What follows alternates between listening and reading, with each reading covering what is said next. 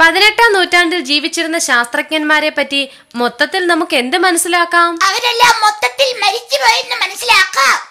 ടീച്ചറെ ഈ ശാസ്ത്രജ്ഞന്മാരൊക്കെ എന്തിനാ ഈ ഊശാന്താടി അവരൊക്കെ വലിയ ബുദ്ധിയുള്ള ആൾക്കാരാ. അതുകൊണ്ടാ അവർ ഈ ഊശാന്താടി വെക്കുന്നേ. ആണോ? ആ. അങ്ങനെയാണെങ്കിൽ മുട്ടനാടിനൊക്കെ ഭയങ്കര ബുദ്ധിയാണല്ലോ. അതെന്താ? എല്ലാത്തിനോടല്ലോ ഉണ്ടല്ലോ ഊശാന്താടി